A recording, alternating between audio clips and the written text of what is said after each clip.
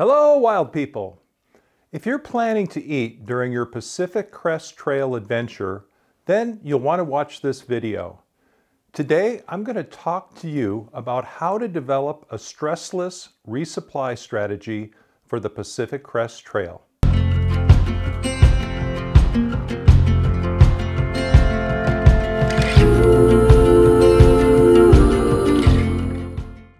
Thank you for tuning in. Today I'm going to share with you some of the best places to shop along the Pacific Crest Trail and the best places to send resupply packages and I'll also talk about a few things in between. All the information on resupplying a long distance backpacking trip comes from my experience backpacking 2,620 miles or all but the last 30 miles of the PCT in 2022 and 2023. And if you stay tuned, I'll explain how you can receive a free copy of my resupply guide that I'm going to share with you today. Please subscribe to this channel and hit that like button. It'll help out a lot. When resupplying your trip, you basically have two options. One is to send resupply boxes, and I recommend the USPS flat rate boxes to various points along the trail. Or two, you can take on the role of hunter-gatherer and resupply in the towns or, or using hiker boxes along the way. Basically, it's a choice between serendipity versus security. Most of us blend both strategies into our hike. So the first thing is you need to be aware of the pros and cons of sending resupply boxes to yourself along the trail. The pros of using resupply boxes. One, you can now buy food in bulk, which saves you a lot of money from high prices you might encounter along the way in the smaller trail towns. On average, you can pack five days of resupply food in a box, although I've seen some creative folks pack even more. Two, you don't have to worry so much about food on the trail because you've taken care of it ahead of time. Three, if you have special dietary needs or suffer from allergies, resupply boxes might be the best way to help you accommodate these special needs, and it will reduce your stress. Four, once you've paid for the costs in your resupply boxes and the shipping, it should be easier to manage your costs and finances along the way because you'll have eliminated one of the biggest costs you'll have on the trail. And finally, number five, the good thing about resupply boxes is the post office will usually let you bump your resupply box or forward it to another post office along the trail so long as you don't open it. And they shouldn't take longer than five days to reach your destination once you mail them. Okay, there are also some disadvantages of using resupply boxes. First, you might pack too much or too little food in your resupply boxes. This could wind up costing you either way. Although the food you dump into a hiker box will make you a hero and a legend on the trail. A second disadvantage is your tastes will probably change so that beef stroganoff or dehydrated potatoes that you enjoyed in March might make your taste buds gag a little in July. I didn't randomly select those two foods, by the way. I can't look at either one of those two foods to this day. Thirdly, you are at the mercy of sometimes quirky post office store hours where you'll pick up your resupply box. For example, if you wind up in one of your resupply towns during a weekend, there's a good chance you won't be able to pick up your resupply box until the following week. Fourth, there's the expense. To ship a large USPS flat rate box costs about $23. And some stores you might send your boxes to along the trail might charge you a pickup fee, which can vary from $5 to $10 a box. I've seen one place even charge $15 a box. I'm not a believer in UPS boxes because, in my experience, they cost more. And secondly, you sometimes have to figure out which entity in town accepts them because the U.S. Postal Service generally does not accept UPS. Okay, just like with resupply boxes, there's also some advantages and disadvantages of shopping locally. A major advantage of shopping as you hike is you can adapt to the changes in your tastes along the way, and you don't have to deal with pesky resupply boxes. However, you'll probably encounter high prices, and sometimes those prices will make you wince. You also have to deal with quirky store hours, and sometimes stores will run out of what you need, especially if you're traveling with the herd. So most of us use some form of a blended strategy on resupply boxes. And in this episode, I'd like to share with you how I, as an older hiker, but Yet, somebody who's very motivated would approach a hike through the California section of the PCT. Then next week, I'll talk about Oregon and Washington and the art of packing a resupply box. In the description, you'll find details for how to contact me so I can send you a PDF copy of the resupply guide I'll be showing. The only thing I ask again is that you subscribe to this channel, like, and maybe share the video. I use two sources to plan my resupply strategy.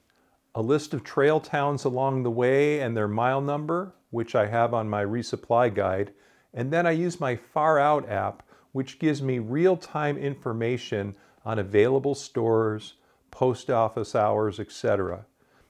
For example, Julian is located at mile 77 on the PCT.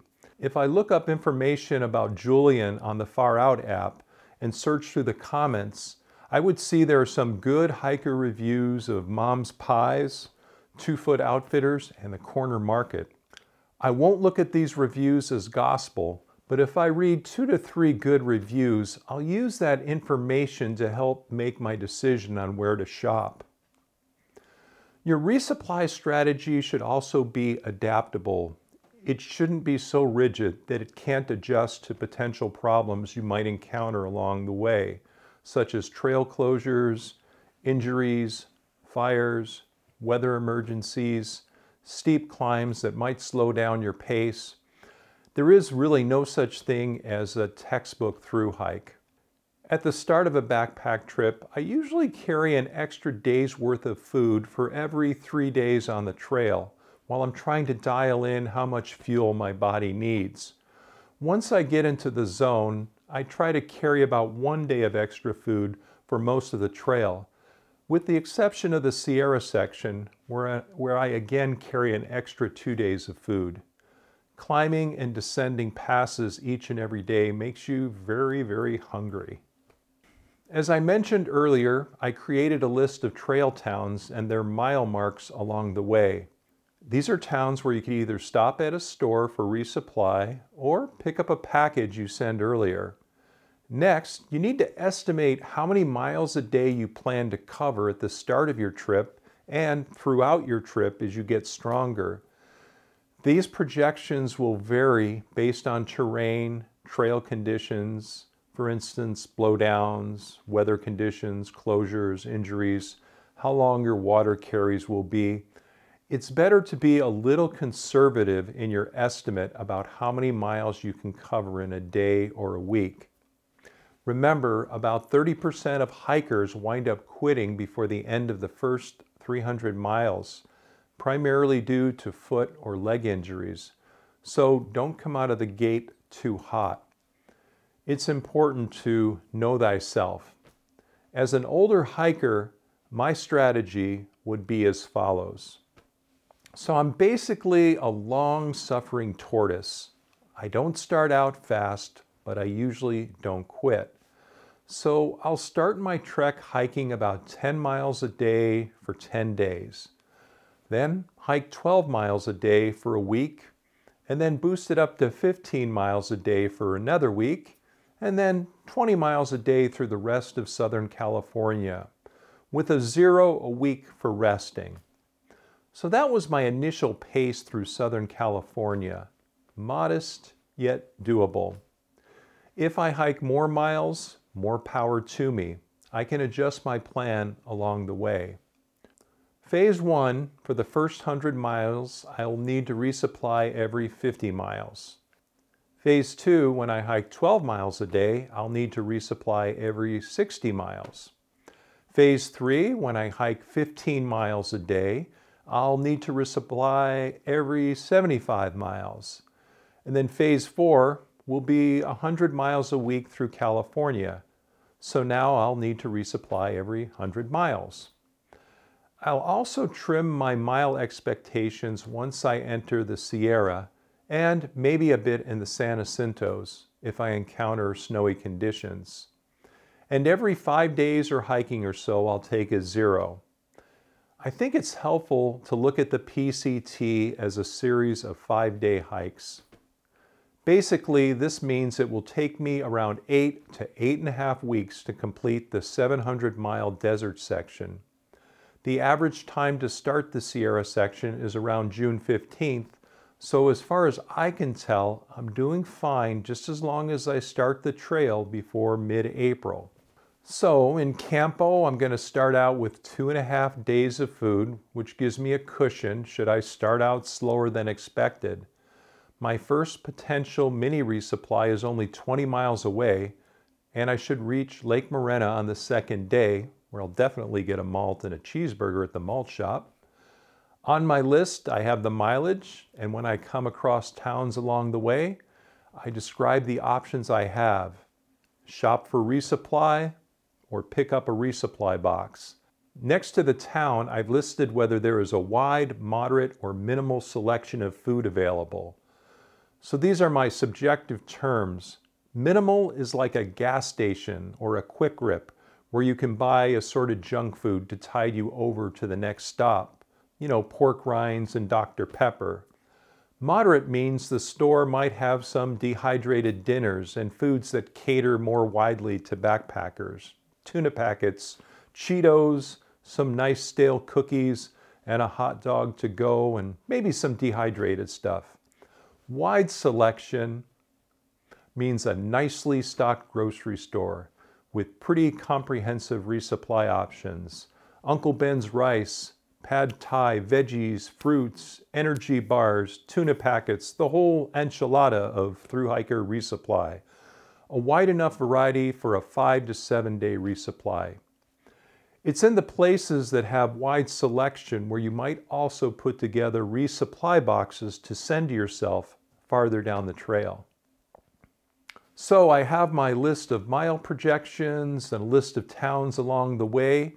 So let's see my initial resupply strategy.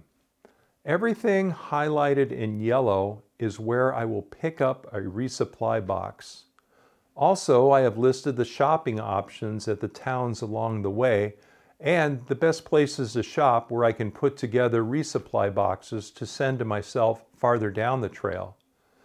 Places highlighted in green indicate where I might need to readjust my daily mile projections because of challenging country.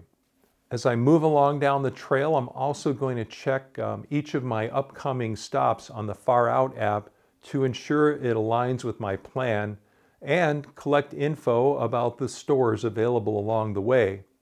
I'll be reading reviews and making sure there aren't any store closures, unusual quirky hours or maybe there's some terrible customer service I might want to avoid. You'll also find the addresses for the post offices or places that you can send resupply boxes to along the trail.